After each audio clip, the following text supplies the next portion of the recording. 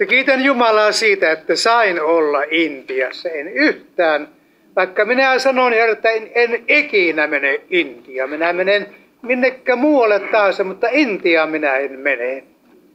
Mutta kun sinne sai mennä, niin siitä koitui elämäni suurin siunaus, kun ajattelen näitä, näitä työmatkoja. Kyllä se niin on, että kyllä ne lapset muistavat, muistavat edelleenkin niin rakkaudella. Ja tietysti tulee hirveästi, että isä voisitko auttaa siinä ja siinä asiassa ja siinä ja siinä asiassa ja siinä ja siinä asiassa. Ja sitten minä sitten rukouksin, aina autan, autan sitten kenet, ketä koe, että pitää auttaa ja on, on todella, todellakin tarpeellinen, tarpeellinen apu. Mutta evankeliumin työ on kuitenkin pääasia. No niin, minä todellakin odotan, että minun lapsen lapset molemmat lähtevät evankelistoiksi. Ja sitä he itsekin sanovat, että he haluavat tulla evankelistoiksi. 14- ja 16-vuotiaat tytöt. Että kiitos Herralle, että on tuommoinen mieli, että, että haluavat seurata papan askeleita. Kyllä tuommoisesta lapsen lapsesta ei voi muuta kuin iloita. Ja kummatkin on pyhällä hengellä täytettyjä ja sitten kun me rukoillaan, niin me puhutaan kielillä yhdessä. Kyllä se on kuin musiikkia korville, kun lapsen lapset puhuvat kielillä. Amen. Mutta nyt me menemme jälleen yhteen raamatun henkilöön ja katselemaan, mitä tuon ihmisen elämä meille opettaa. Ja vaikka olemme vanha testamentin puolella, niin on ihmeellistä, miten paljon heistä löytyy oppia ihan meille Uuden testamentin, Uuden liiton uskoville. Eli nyt mennään Nehemian kirjaan ja sitä luku yksi ja siitä alusta. Nehemian Hakalian pojan kertomus. Kislev kuussa 20. vuotena minun ollessani Suusanin linnassa. Tuli Hanani, eräs minun veljistäni ja muita miehiä Juudasta. Eli nyt mennään tämmöisen tilanteet, tilanteesta mies on kaukana, on siellä eh, Eufrat virran takana Suusanin linnassa ja sinne tulee näkyy. Eli hän tavallaan joutuu ottamaan kuin lähetyssarnajan osaan ja lähtemään liikkeelle sieltä ja mennä takaisin sinne luvattuun maahan. Eli me katselemme kuin lähetyssarnajan elämää ja lähetyssarnajan vaikeuksia ja lähetyssarnaajien voittoja. Eli me lähdemme niin tältä pohjalta katselemaan Nehemiaa. Ei vain pelkästään juutalaisena, mutta juutalaisena lähetyssarnaajana kaikki ne asioinen, mitä hänen elämässä tapahtui. Tuli Hanana, Hanani, eräs minun veljistäni ja muita miehiä Juudasta. Ja minä kysyin heiltä juutalaisista, siitä pelastuneesta joukosta, joka vankeudesta palanneena oli jäljellä ja Jerusalemista. Lähetyssarnaaja on aina sellainen, että hän haluaa tietää, mitä missäkin tapahtuu. Hänellä on tällainen synnynnäinen, taikka Jumalan antama oikea uteliaisuus. Ei vain uteliaisuus, kuinka siellä on kaikki hyvin ja kaikki menee loistavasti, vaan tietää todellinen tilanne, koska näkyy syntyy vain todellisen tilanteen pohjalle.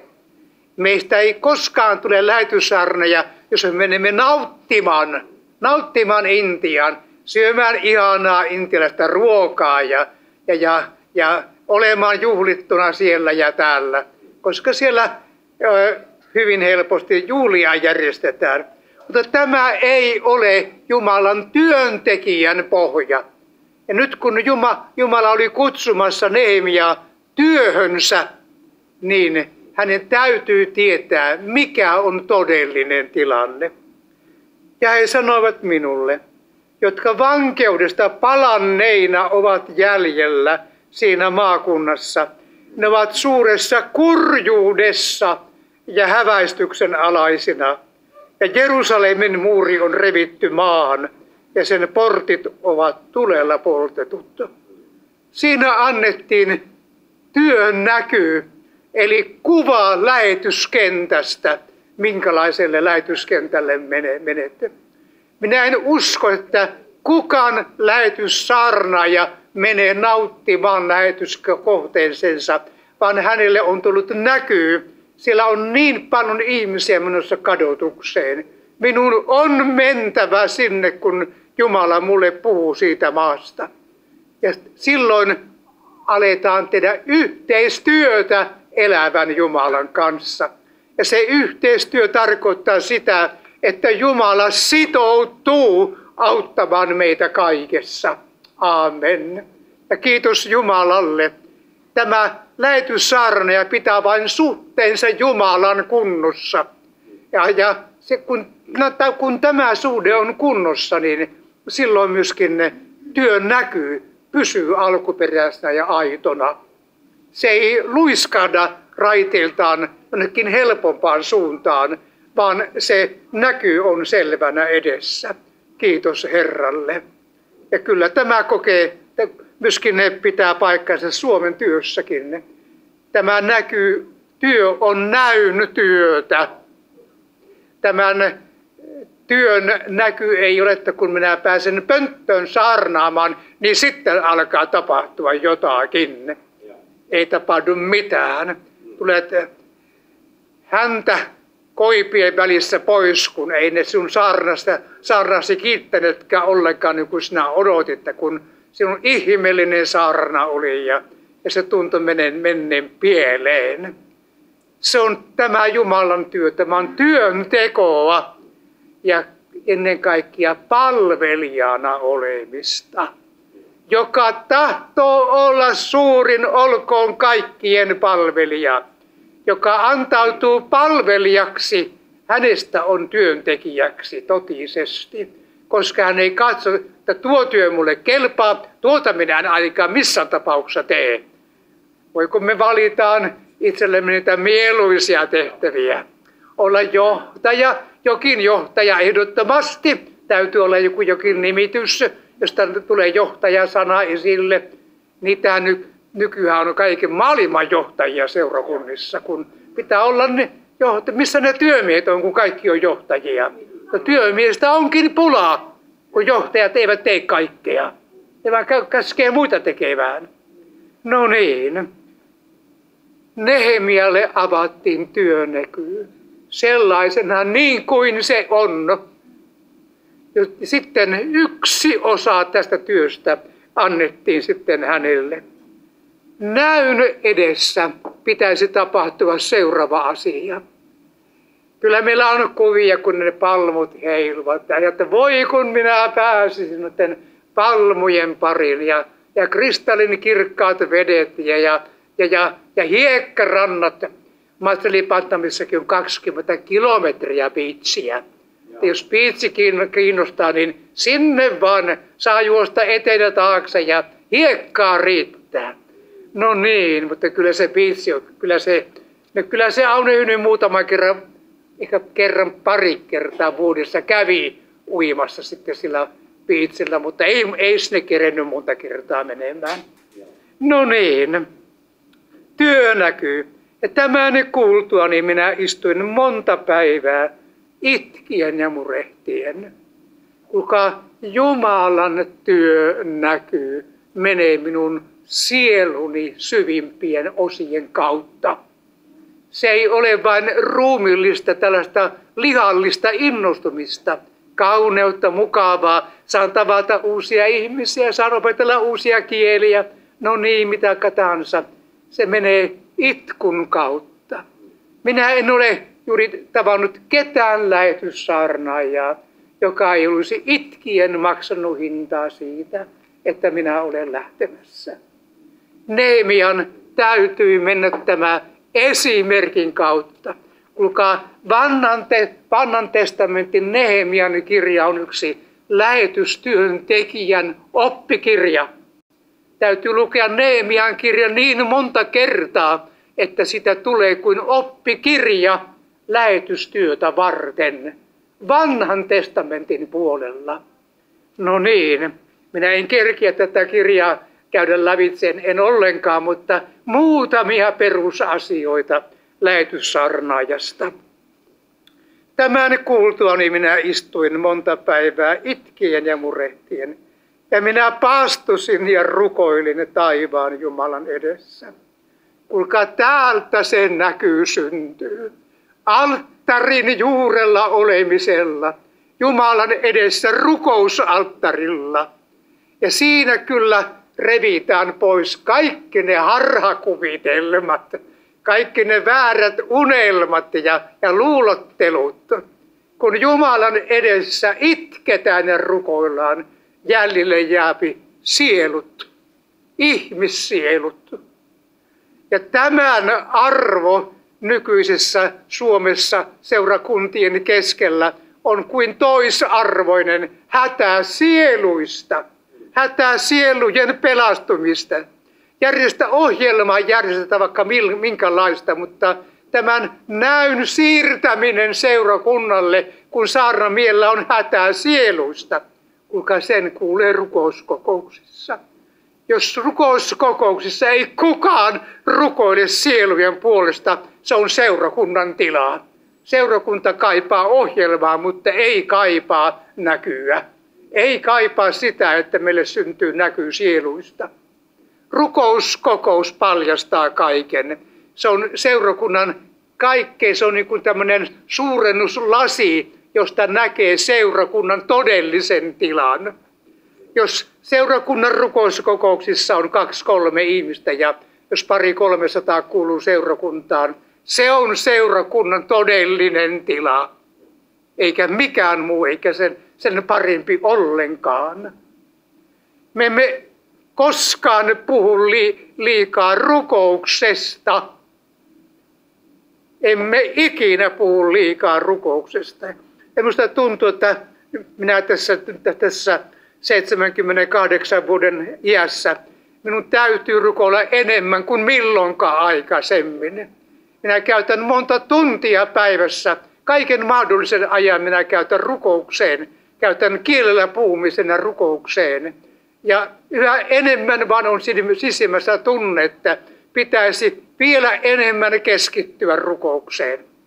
Minä melkein mietin, että että minä ruoan kokonaan leikkaamatta, olkoon minkälainen tahansa, mutta on, jos se vie liikaa rukousaikaa, mulla on liian iso, liian iso alue äh, leikattavana ja liian paljon aikaa se kyllä viepi. No niin, ja mitä hän rukoili? Nyt kun oltiin näyn edessä, niin katsotaanpa mitä hän rukoili. Minä sanoin, oi Herra taivaan Jumala, sinä suuri ja peljättävä Jumala, joka pidät liiton ja säilytät laupeuden niille, jotka sinua rakastavat ja noudattavat sinun käskyjäsi. Mitenkä hän rukoili? Hän oli itkenyt ja valittanut, kun hän näki Jerusalemin tilan. Hän käy ylistämään suurta Jumalaa. Kuulkaa, tämä on rukouksen voima. Jos me heti alamme kertoa niitä asioita ja köyhyyttä ja puutetta ja sellaisia, meidän rukouksemme perustus on Jumalan ylistys. Amen. Ja tuota perustusta me harjoittelemme, meidän täytyy oppia Jumalaa kiittämään ja ylistämään ilman vilun värystyksiä, ilman tanssia, ilman naurua, laulua. Meidän täytyy opetella ylistys ja se on kaikkea muuta kuin aina, että kun, ai kun tuntuu niin ihanalta, minä rakastan niin hirveästi Jeesusta. Ja, mutta Nehemia on tässäkin asiassa meidän esikuvamme. Hän tuskan tilassa kertoo, millainen Jumala sinä olet. Ja Jumala haluaa kuulla meidän suustamme, mitenkä me näemme Jumalan. Ei vaan, että anna, anna pala leipää, anna, anna, muutama, anna muutama tuhat, tuhat euroa ja muuta ja semmoista, vaan että siinä ensimmäisenä Jumalan persona on meille tärkein. Eli kun me ylistämme Herraa, me kerromme, Jeesus, sinä olet meidän tärkein. Olet tärkeämpi kuin tämä tarve. Olet tärkeämpi kuin mikään muu. Jeesus, sinä olet tärkein. Ja Nehemialle Jumala oli tärkein.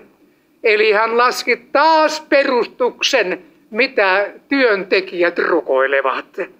Mitä lähetyssaarnajat rukoilevat ja mitä jokainen Jumalan palvelija rukoilee. Me ollaan kaikki Jumalan palvelijoita. Eli tämä Jumalan kunnioitus ja Jumalan persona. Ja sitten, sitten kun hän on Jumala, Jumala, Jumalaa kunnioittanut, miten hän pyytää jakeessa kuusi. Olkoon sinun korvasi tarkkaavainen ja silmäsi avoin kuullaksesi palvelijasi rukoukset, joita minä nyt päivät ja yöt rukoilen sinun edessäsi palvelijaisi israelaisten puolesta, tunnustaen israelaisten synnit, jotka me olemme tehneet sinua vastaan, sillä minäkin ja minun perhekuntani olemme syntiä tehneet. Kuulkaa, tässä on yksi rukouksen koulun syvimpiä asioita. Tämä on Jumalan ihmisten rukouksen kuin kaava, se se malli, jota Jumala, jonka Jumala mielistyy. Eli alussa oli näky, se tuli näkyy, näkyynä tämä Israelin tila. Ja sitten tämä Jumalan suuruus. Ja sitten tämä Jumalan edessä nöyryys. Jumalan edessä mikä hän on. Mutta minä rukoilen päivät ja yöt tätä rukousta. Amen. Totisesti. Ja kuule, se on muuten totta, kun, kun tämä rukous tulee osaksi meidän elämäämme. Kun me yöllä heräämme, niin meillä on heti mielessä jokin rukousaihe. Jumala heti haluaa, että me rukoilemme. Kun taas, kun meillä ei, rukous ei ole siinä oikeassa asemassa, niin minä äkkiä ottaa vaikka unipillerit ja pääsen nukkumaan ja enkä, enkä missään tapauksessa ainakaan rukoilemaan rupeaa keskellä yötä. No niin, mutta Nehemia päivät ja yöt hän oli rukouksessa ja sitten tunnusti kansan synnit. Kuulkaa, minusta, minä tiedän sen, että nyt Jumalan kansan yksi tärkeimpiä rukousaiheita on tunnustaa Suomen synnit. Tunnustaa ne nimeltä mainiten, mitä meidän hallituksemme on tehnyt, mitä se on tekemässä raskaasti Jumalan sanaa vastaan. Me tunnustamme, koska he eivät tunnusta, niin me tunnustamme heidän puolestaan Suomen kansan synnit. Ja niitä on paljon. Ja varmasti olette kokeneet, että kun alkaa tunnustaa, niin tulee niin hirvittävä sisäinen tuska, kun joutuukin silmästä katsomaan, mitä Jumala ajattelee, mitä Suomen lain laatijat ovat tehneet hävittääkseen Jumalan tuntemuksen ja tuodakseen tilalle demoniset voimat, saatanan palvonnan ynnä muuta. Tunnustain Israelin synnit on osa meidän rukoustaisteluamme ja osa seurakunnan rukouskokousta on julistaa ja kertoa Jyväskylän synnit. Ne on paljon, kun Jumala ne näyttää, niin ei yksi rukouskokous ole riittävästi kertomaan, mitä syntiä Jyväskylässä on. Saatikka sitten, kun ajatellaan Suomen syntiä. Mutta tämä Nehemia otti tämän kuorman omille harteilleen. Me olemme tehneet syntiä. Ja tämä on sitä yhdeksi tulemista rukouskohteen kanssa. Minä en rukoile korkealta. Te, te olette semmoisia, te olette semmoisia. Menkää tehkää parannus. Nehemia otti itse päälleen tämän kaiken, mitä me olemme tehneet. Jumalan ihmiset eh, raamatussa ovat todelliset rukoilijat aina ottaneet tämän me hengen. Sen otti Daniel. Hän kymmeniä kymmen, parikymmentä kertaa sanoi, mitä me olemme tehneet. Sen otti moni muu Jumalan, Jumalan mies. Otti Mooseskin tämän me ja niin poispäin. Niin poispäin. Mutta tässä Nehemia otti tämän, tämän taakan päälleen. Ja kesä seitsemän. Me olemme pahoin tehneet sinua vastaan. Emme ole noudattaneet käskyjä, säädöksiä ja oikeuksia, jotka sinä annoit palvelijallesi, Moosekselle. Me olemme tehneet näin ja näin. Minä suosittelen, kokeilepas tätä rukoustyyliä, tätä tapaa. Sinä huomaat, että sinun rukouselämäsi laajentuu. Se, se ei kaikki mene sinun ahtaan putken kautta, vaan sille tulee ulottuvuutta. Ja Jumala pystyy antamaan sinun sydämeesi myöskin tuskaa Suomen puolesta. Koska sitä me tarvitaan, me todellakin tarvitaan. Ja sitten tämän jälkeen, jakessa kahdeksan, muista sana, jonka sinä annoit palvelijallesi Moosekselle, sanoen, jos te tulette uskottomiksi, niin minä hajotan teidät kansojen sekaan. Mutta jos te palajatte minun tyköni, noudatatte minun käskyjäni ja seuraatte niitä, niin vaikka teidän karkoitettunne olisivat taivaan ääressä, minä heidät sieltäkin kokoan ja tuon heidät siihen paikkaan, jonka minä olen valinnut nimeni asuinsijaksi. Ovathan he sinun palvelijasi ja sinun kansasi, jotka sinä vapaudit suurella voimallasi ja väkevällä kädelläsi. No niin, seuraava asia tässä rukouksessa oli se vetoaminen, mitä Jumala oli puhunut Moosekselle, eli Mooseksen laki. Uutta testamenttia ei ollut, mutta sitten sitä rukousta rakennettiin sanan perustukselle ja sanan pohjalle ja sanan lupauksille. Ja tämäkin kuuluu tähän rukoukseen, mutta minusta tämä Nehemian rukous on niin pyhässä hengessä rukoiltu rukous, että tämä järjestyskin on prikulleen tällainen, niin kuin se voisi kaikkein korkeimmassa rukouksessa olla. Amen. Eli opetellaan Jumalan pyhien rukouksista jotakin. Lukeekaapa sen Danielin rukous. Hän, se oli kun se luvussa yhdeksän, oli koko luku vai kymmenen. Lukeekaapa sen monta kertaa, niin te opitte, mitenkä Jumalan mies rukoili. Ja sitten meni suoraan taivaaseen rukous ja enkeli äkkiä lähetettiin tuomaan sanaa. Pitikin lentää kiireesti, kun Jumalan mies siellä rukoili. Ja sitten tämä, he ovat sinun palvelijoitasi. Hän, tämä Nehemia nosti tätä kansaa ylöspäin. Että vaikka se on semmoinen ja semmoinen, siitä huolimatta ne ovat sinun palvelijoitasi. Ja sen tähden sinä kuulet. Eli meidän rukouksessamme on tämmöinen rehellinen tilanne, mutta meidän rukouksissamme on aina nostava elementti. Se aina luo toivon. Aamen. Niin kuin hyvä saarnakin, vaikka puhutaan synnistä, mutta se luo kuitenkin toivon. Minä voin nousta, minä saan nousta. Minä en ole käyttökelvoton, minä en ole tarpeeton. Tämä on sen, mikä pitäisi myöskin saarnaan aina kuulua. Ei vain moittimista eikä sellaista, mutta se saarna kuin nousee loppua kohti, minä en lopeta, vaan minä jatkan. Ja silloin kun tämä mieli on tullut saarnaan jälkeen, silloin kyllä saarna on ollut Herralta saatu saarna. Minä en lopeta, minä jätän, jätän kaiken, vaan ei minä en lopeta mitään, vaan minä jatkan työntekoa ja, ja minä otan vaikka lisääkin työtä, jos vaan niin Jumala johtaa. Oi Herra, tarkatkoon sinun korvasi palvelijasi rukousta ja niiden palvelijaisi rukousta, jotka tahtovat pelätä sinun nimeäsi. Anna tänä päivänä palvelijasi hankkeen menestyä ja suo hänen saada arvo sen miehen edessä. Kuulkaa, tämä rukous vie toimintaan.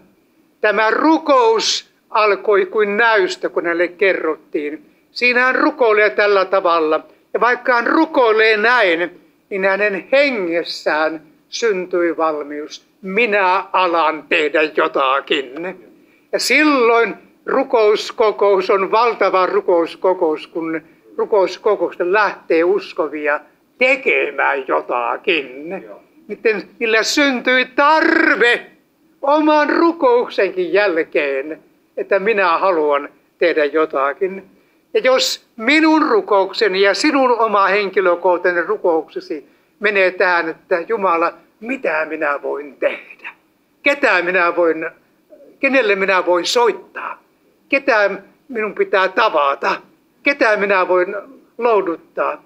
Kuulkaa, silloin sinun rukouksesi on mennyt päätökseen, eli jumalalliseen päätökseen.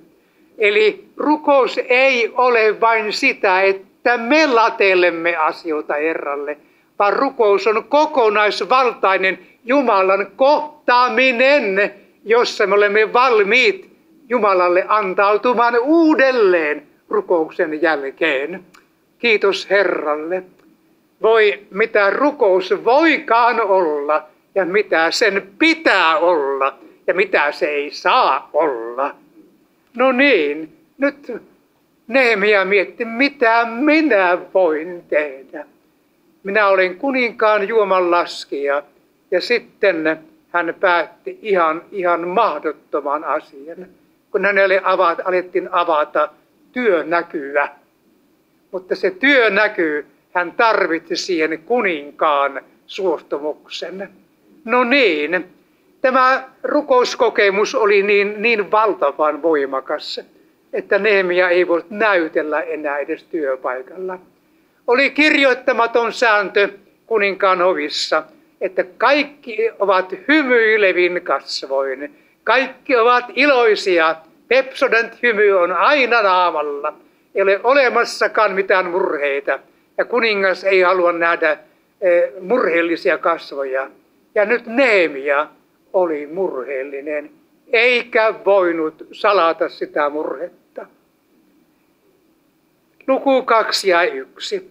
Niisan kuussa kuningas Artasastan 20. hallitusvuotena, kun viini oli hänen edessään, otin minä viinin ja annoin sen kuninkaalle.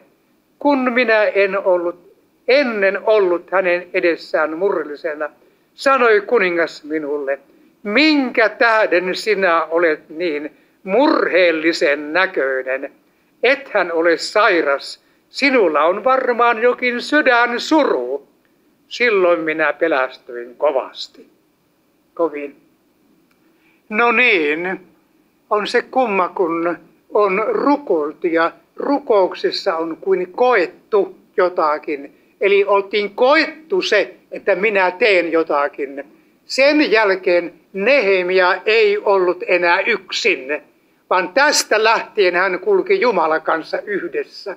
Hän oli jo rukoillut Jumalan kanssa yhdessä, mutta tästä lähtien hän alkoi tehdä tekoja Jumalan kanssa yhdessä. Ja, tämä, ja taas minä toistan, tämä on rukouksen tarkoitus. Minä alan tehdä jotakin Jumalan kanssa yhdessä sitä, mitä hän pyytää minulta. Ja Jumala pyytää joskus mahdottomia asioita. No niin. No, pelko, pelko, mutta hän voitti sen pelon ja hän sanoi, eläköön kuningas iankaikkisesti. Kuinka minä en olisi murheellisen näköinen, kun se kaupunki, jossa minun isieni haudat ovat, on autio ja sen portit tuleella poltetut. Siinä tuli nyt se näkyy, joka kerrottiin jumalattomalle kuninkaalle. Minun edessäni on näkyy minun kaupungistani, joka on tulella poltettu. Ja nyt kun oli kerrottu, kerrottu se näkyy, niin Jumala alkoi vaikuttaa taas eteenpäin. Kuningas sanoi minulle, mitä sinä pyydät? Kun kuningas antaa luvan pyytää jotakin, niin silloin on edessä avoimet ovet. Täysin avoimet ovet, koska tämä kuningas on tavallaan kuin Jumalan esikuva, vertauskuva. Me näimme tämän Nehemian kirjan myöskin profetaallisena kirjana, joka on ei vain Nehemia varten, vaan seurakuntaa varten. Sen tähden monet ihmiset, monet ihmiset ovat esikuvallisia sitten ihan Uuden testamentin ihmisiin. Niin, niin sitten kun hän sai tämän, tämän luvan pyytää, niin minä rukoilin taivaan Jumalaa. Se oli heti ajatuksissa, se oli pikarukous. Siinä ei varmaan viittä minuuttia eikä, eikä minuuttiakaan, eikä se oli kymmenen sekunnin rukous, mutta se oli pikarukous Jumalalle. Ja sanoin kuninkaalle, jos kuningas hyväksi näkee, ja jos olet mielistynyt palvelijasi, niin lähetä minut Juudaan, siihen kaupunkiin, jossa minun isieni haudat ovat, rakentamaan sitä uudestaan. Kun Jumala antaa työnäyn, niin Jumala meni taas askel askelelta eteenpäin ja nyt hän sai pyytää tämän mahdottoman pyydän. Minä menen rakentamaan kaupunkia. Eipä se ihan pikkunen pyyntö ollutkaan, mutta tämä henki, mikä oli, oli Neemiassa, minä menen vaikka yksin ja minä teen sen vaikka yksin, mutta kun Jumala on nyt avannut, minä lähden ja minä menen. Ja tätä henkeä Jumala meiltä kaipaa. Kun me sanomme, että minä en mene yksin. Minä tarvitsen sitä ja sitä ja tuota ja tätä. Mutta kun Jumala riisuu kaikista turvasta pois, niin, minä olen valmis menemään vaikka yksin ja rakentamaan kaupungin. Kiitos Herralle. No niin, ja sitten kuningas, kuningas kauan sinä sillä olisit. Ja, ja sitten ne, hän antoi sitten määräajan sitten ja sitten pyysi vielä kirjetäkin sitten, sitten Eurat, virran tuon puolisen maan käskynhaltijoille, että sallivat minun kulkea sen maan kautta Juudan saakka. Ja, ja sitten ne pyysi sitten kaikkia muutakin. Ja mitä ikinä hän pyysi, niin kuningas antoi kaiken. Ihan kaiken. Eli Jumala antaa kaiken, mitä me työtä varten tarvitaan. Amen. Ei ne kaikki tule heti kerralla, ei totisesti, mutta ne annetaan tarpeen mukaan. Kiitos Jumalalle. Halleluja. Kiitos Herralle. Amen, amen. Todellakin tarpeen mukaan. Ja olen, olen mä viime kerralla kerronkin tämä, että mä joka kuukausi aina kun sinne määräsumman lähetään sinne Intiaan, että se velkakin tulee maksettua, että sen kirkon velka, niin minä aina pyydän, että Herra, millä tavalla sinä tänä, tänä kuukautena annat sen, sen määrätty, määrä, määrä summan, minkä minä sinne lähetän. Ja täytyy sanoa, että nyt on Herra jo kaksi vuotta antanut joka kuukausi määräsumman. Eikä yhtenäkään kuukautena ei ole tarvinnut olla lähettämättä sinne Intian apua, vaan on aina pystynyt lähettämään. No mulla on vaan semmoinen tunne, että Jumala antaa kohta toisen kirkon. Rakenna toinenkin kirkko. Kun ensimmäinen kirkko tuli valmiiksi, niin, niin, niin sitten tulee eteenpäin. Mutta se on Jumala asia. Kiitos Herralle, se ei ole minun asia. No niin. Sitten kun hän tuli, tuli Jumalan lähettämänä, niin mitä tapahtui heti alkuun? Mutta kun hooronilainen Sanvallat ja ammonilainen virkamies Tobia sen kuulivat, paastuivat he kovin, että oli tullut joku, joka harrasti israelaisten parasta.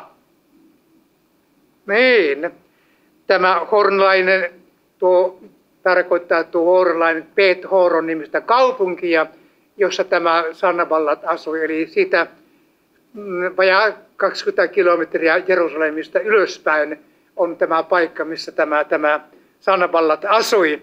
Oli näiden Samarian, Samarian maaherra.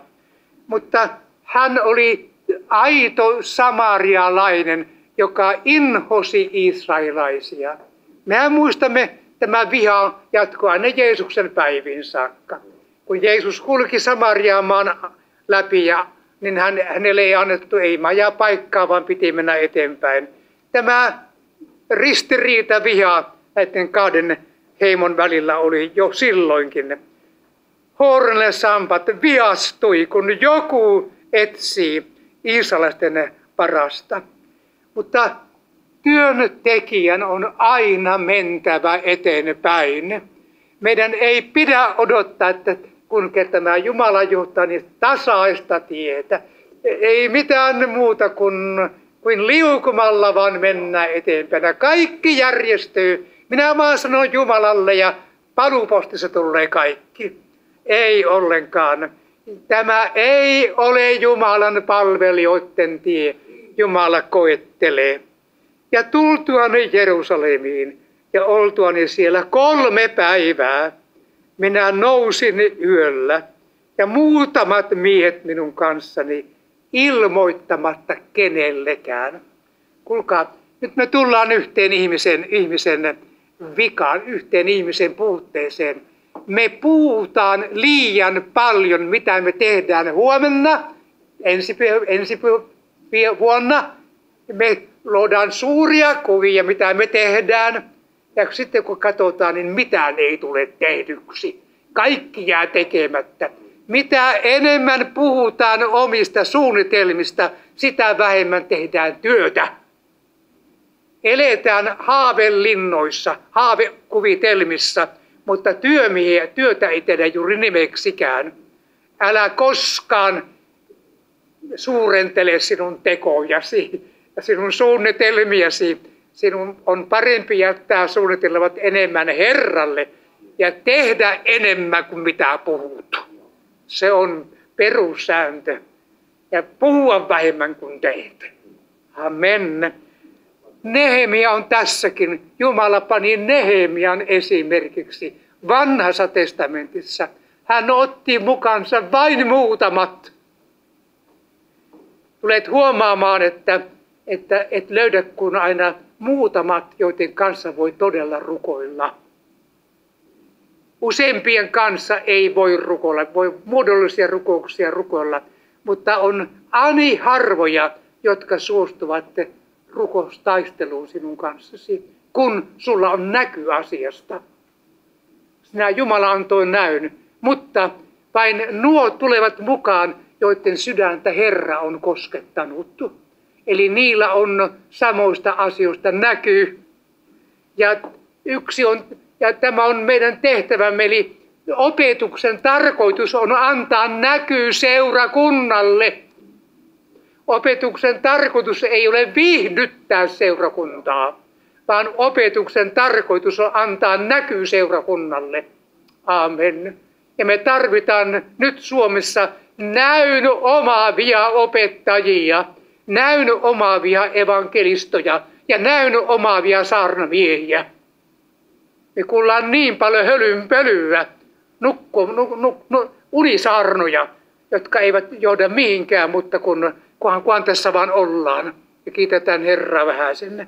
No niin, oli muutamia Nehemian kanssa, eikä hän ilmoittanut muille mitään mitä Jumala oli pannut sydämeeni ja määrännyt teke, tehtäväksi Jerusalemille. Eikä minulla ollut mukanani edes juhtaakaan, edes Aasiakaan ei ollut. Eihän kukaan nykyään lähde, lähde, lähde lähetyssaarakselle, ei auto ole tiedossa. Kunnon, kunnon jeppi ja kunnon monikäyttö, monikäyttövehe. Mutta Nehemialla ei ollut edes sen ajan autoa Aasiakaan mukana, vaan hän läksi tutkimaan tilannetta. No niin, sitten hän kertoi, miten hän meni portilta toiselle. Laaksoportilta Lohikärmen lähteelle. lantaportille ja tarkastelin Jerusalemin maan revittyjä muureja ja sen tulella poltettuja portteja. Paikan päällä näkyy kirkastui.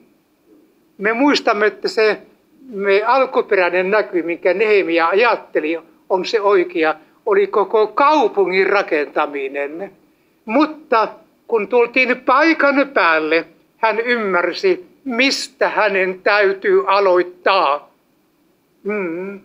Kyllä se niin on, että täällä tehdään hienoja suunnitelmia, mutta kyllä sen lopullisen suunnitelma, se nähdään sitten siellä paikan päällä. Kiitos Jumalalle. Mä en olisi ikinä voinut kuvitella, että minä menen lasten kotiin työhön. Mutta kun menin paikan päälle ja olin näin sen tilanteen, näin lasten kodin tarpeen, niin syntyy näkyy, että minä annan kaiken ajan lasten kodille ja teen kaiken, mitä minä ikinä voin tehdä tämän näiden poikien hyväksi. Näkyy syntyi paikan päällä, niin kuin Nehemialle syntyi se ensimmäinen työ, mitä piti tehdä. Minä alussa jopa nurisin. Minä haluan vain saarata, mutta minä en halua olla lasten kanssa. Mutta Jumala otti minut tiukille. Jumala otti kerta kaikkiaan tiukille. Ennen, että se näkyy tuli sitten selväksi, että sinä olet ennen kaikkea lasten saarnaaja, jotka aikuisille. Sinun täytyy opettaa nämä lapset tuntemaan Jumala ja johtaa ne pyhän täyteyteen. Ihan tarpeeksi oli työtä siinä kyllä näkyä. Mutta kiitos Herra, täytti kyllä kaiken moninkertaisesti. No niin. Näin, näin Nehemia kulki siellä. Ja, ja, mutta esimiehet eivät tietäneet, mihin minä olin mennyt ja mitä tein.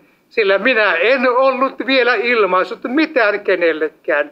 En juutalaisille, en papeille, ylimyksille – esimiehille enkä muille, joiden oli oltava mukana siinä työssä. Eli nyt Nehemia tiesi, nyt minä tarvitsen työmiehiä ja minä tarvitsen paljon työmiehiä. En vain yhtä, kahta, kolmea, minä tarvitsen satoja työmiehiä. Kun se näkyy, halleluja, kun se näkyy, kirkastui paikan päällä, niin Jumala myöskin näytti, että nyt menet tässä asian, asioiden puhumisessa eteenpäin. Ja mikä se näkyy oli? Rakenna muurit ja portit. Se on ensimmäinen, mitä pitää tehdä ennen kuin mitään muuta tehdään. Muurit täytyy panna kuntoon. Mikä on seurakunta ilman pelastuksen muuria? Kun me julistetaan evankeliumia ilman synnin tuntoa ja ilman parannusta synnistä, me hajoitamme Jerusalemin muurit ja seurakunta on avointa ristaa kaiken maailman virtauksille. Ja tässä tilanteessa me olemme tänä päivänä Suomessa. Nämä muurit, muuria revitään kaiken aikaa rikki ja, ja ketut ynnä muut hajottavat seurakuntia. Ja tilalle tarjotaan kevyttä ohjelmaa, viihdykettä, kun meidän pitäisi alkaa panna uudelleen, julistaa synti synniksi ja alkaa rakentaa muuria kuntoon että mennään porttien kautta sisälle kaupunkiin. Amen. Tämä on meidän tehtävämme. Ja 17. Mutta nyt minä sanon teille, te näette, missä kurjuudessa me olemme, kun Jerusalem on autio ja sen portit tulella poltetut. Tulkaa rakentakaamme uudestaan Jerusalemin muuri, ettemme enää olisi häväistyksen alaiset. Kuinka kun seurakunta menettää saarnan synnistä ja parannuksesta, meistä tulee kuin nukkeja. Meistä ei ole mihinkään. Me olemme menettäneet suolan, me olemme häväistyksen alaisia. Mutta niin kauan aikaan, kun me pidämme asiat kunnossa, meitä kyllä pilkataan, mutta meitä kunnioitetaan kun me pidämme kiinni Jumalan sanasta. Todellisia uskovia aina kunnioitetaan, vaikka niitä vastaan noustaan, mutta sydämessä kunnioitetaan. Ja Nehemia ymmärsi tämän vanhan testamentin aikana. Muurit täytyy rakentaa. kun minä kerron heille, kuinka minun Jumalani hyvä käsi oli ollut minun päälläni, ja myös mitä kuningas oli minulle sanonut, ne sanoivat, nouskaamme ja rakentakaamme. Nouskaamme ja rakentakaamme. Voi mitä musiikkia tämä onkaan tuon vastuun kantajan korvissa. Me nousta, me lähdetään sinun mukaan, me rakennetaan, me lähdetään evankelioimaan, me lähdetään tekemään sitä ja tätä. Ja he saivat rohkeuden käydä käsiksi tähän hyvään työhön. Kun oli Neemia käynyt sen tien ja kun hänessä oleva henki sai vaikuttaa muihin, niin se rohkeuden henki tarttui toisiinkin.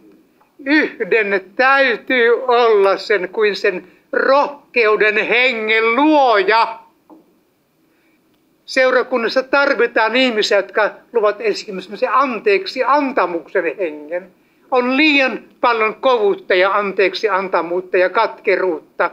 Yhden täytyy olla ihminen, joka joko julkisesti pyytää omaa kovuuttaan anteeksi tai muuta, mutta tulee tällaiseksi esimerkiksi anteeksi antamuksessa e, ja e, pannan unohtamisessa ja niin poispäin, urraamisessa ja monessa monessa muussa asiassa. Me olemme lauma ihmisiä, jotka seuraavat esimerkkiä ja sille ei mahda mitään. Meidät on tehty tällaisiksi ihmisiksi. No niin, mutta kun Hooronen sannapallot ja ammonilainen virkamies Tobia ja Aram, arabialainen Gesemsin kuulivat, pilkkasivat meitä ja, sano, ja osoittivat meitä halveksum, osoittivat meille halveksumista ja sanoivat, mitä te siinä teette, kapinoitte, kapinoitteko te kuningasta vastaan? vastustus nousee aina. Ja meidän täytyy ymmärtää, että tämän päivän Jyväskylässä nousee vastustus. Tämän päivän Suomessa nousee vastustus. Ja ihan takulla nousee. Ja me tiedämme, että se on noussut jo osittain ja sen, se tulee nousemaan paljon enemmän. Mutta me olemme lähetyssaarnaajia Suomessa – Mm, ja me otamme tämän asenteen itsellemme. Minun ei tarvitse mennä Intiaan tai Kiinaan tai jonnekin kauas merten taakse. Sinä ja minä olemme lähetyssarnaajia. Ja me käymme Nehemian askeleisiin sisälle. Halleluja. Ja tämän minä uskon. Ja nyt te ymmärrätte, että minkä takia minä uskon tämä Jumalan sanaa. Mikä tuli tätä kokousta varten. Minä unohdin muistiinpanot kotiin. Ja minä tuossa penkissä istuin ja ajattelin, mitä minä puhun, kun muistiinpanot jäivät sinne. Minä puhuin, pain, minä puhuin tänä päivänä, tänä päivänä vain sen, mikä Herra antoi pyhäneen kautta. Minä puhuin tämä, tämä saadaan pyhässä hengessä. Sen minä tiedän itsekin. Aamen. Ja nyt me kiitämme Herraa. Tämä ei mulla ole ikinä ennen tämmöistä kokemusta ollut. Tämä oli ensimmäinen kokemus tässä iässä. Mutta kiitos Herra, että Herralla on vielä varaa antaa uutta. Mennä suoraan asian tietämättä, mitä puhun. Amen. Tämä ihan rupeaa naurattamaan tämmöinen, kun tämmöistä, tämmöistä, tämmöisenkin saa vielä kokea. Kiitos Herralle, halleluja. Amen.